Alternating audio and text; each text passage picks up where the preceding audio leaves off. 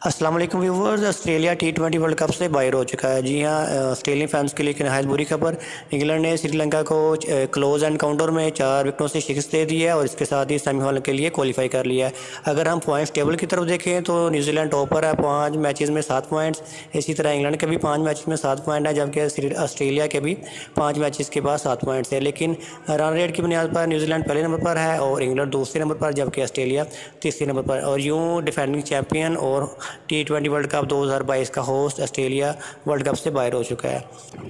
England, Sri Lanka के match की बात करें तो श्रीलंका ने पहले बैटिंग करते हुए मुकर्रा बीस ओवर में आठ विकेटों के नुकसान पर एक सौ इक्यालीस रन बनाए। पतम निशांका ने सिक्सटी सेवन रन बनाए। इंग्लैंड की बॉलिंग की बात करें तो आदर रशीद ने बड़ी ज़बरदस्त बॉलिंग की। चार ओवर में सिर्फ़ सोलह रन दिए। मार्कवुड ने छब्बीस रन देकर तीन खिलाड़ियों को आउट किया। जवाब में इंग्लैंड ने टारगेट आखिरी ओवर में चेस कर लिया। बेन स्टोक्स ने फोर्टी टू नॉट आउट बनाए, जबकि Jos Buttler sorry, Alex Hales ने सैंतालीस रन की ज़बरदस्त इनिंग्स खेली। सो ये एक अपडेट थी जो मैंने आपके साथ शेयर की। मज़ीद ख़बरों से बखबर रहने के लिए मेरे चैनल को सब्सक्राइब करना मत भूलिएगा। वीडियो को लाइक और शेयर ज़रूर कीजिएगा। अल्लाह हाफिज़।